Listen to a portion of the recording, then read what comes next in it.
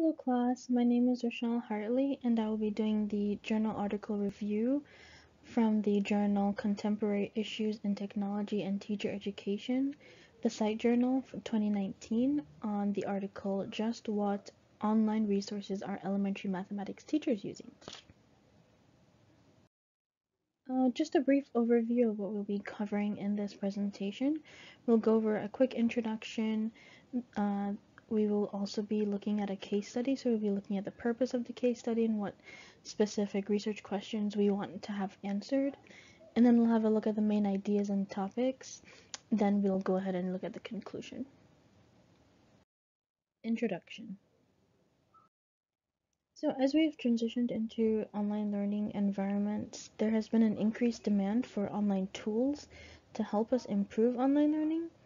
Uh, in the past, while teachers were teaching in face-to-face classrooms, they were merely just curriculum deliverers. Uh, now that we have online or uh, hybrid classes, teachers have the opportunity now to be more creative with how the subject is taught to students, mainly because the school district actually has no tight restrictions on the teachers anymore. Purpose so the subject math tends to be viewed as a diff as difficult since it depends a lot on formulas and theories. However, in this article, we'll have a literature review which is focused on identifying and documenting the elementary math teachers' preferences or habits for choosing these online tools they use in the classroom. And here we have four research questions that drove the main purpose of this study. So the first one, the first question, research question we have here is how often are elementary teachers across the United States searching for and using mathematics activities found online? Which websites they're mainly using? How they're using, how they're rating the common criteria for selecting the math activities found online? And to what degree does the elementary teacher's years of experience influence each of these questions? Main idea. So in a research conducted by the Bill and Melinda Gates Foundation, the results show that 91% of teachers use websites to find inspiration for lesson plans and classroom ideas. So the Scholastic website being the most popular as 80% of teacher participants used it.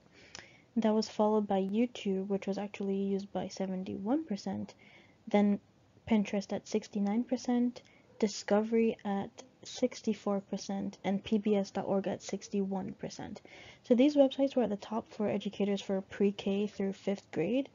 Interestingly though, uh, education related items are the second most highly searched resource on Pinterest. So during the study, uh, pre-service teachers stated that they chose online activities for curriculum application, student-centered interest, and assessment of students' learning. Another research conducted by Sawyer and Meyer actually concluded that pre-service teachers tended to determine the effectiveness of an online activity based on how many pins it had on Pinterest instead of evaluating the content themselves. But ultimately, the more popular it is, whether positive or negative, then the more sales for that activity. And as we are all aware, not everything on the internet is true, since basically anyone can post activities online. So in this case, we have two categories of online resources. We have trustworthy and not as trustworthy. To determine if an online resource is trustworthy, it's important to note if the author has been fact-checked, essentially. On the other hand, not as trustworthy sites usually do not have a content monitoring uh, capability. An example of a trustworthy site would be any government education site such as the National Council of Teachers of Mathematics or NCTM, while the not as trustworthy sites would include Facebook, Twitter, Pinterest, and Teachers Pay Teachers.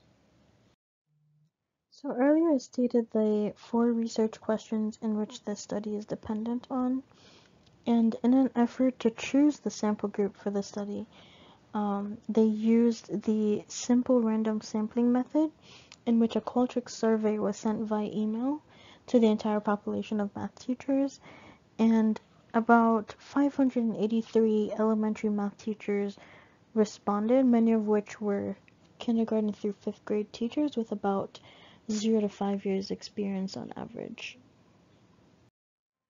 During the study, in response to the first research question, the teachers were asked if they search online for elementary math activities, and all the teachers with 0 to 5 years experience said yes, along with 99% of teachers with about 6 plus years experience.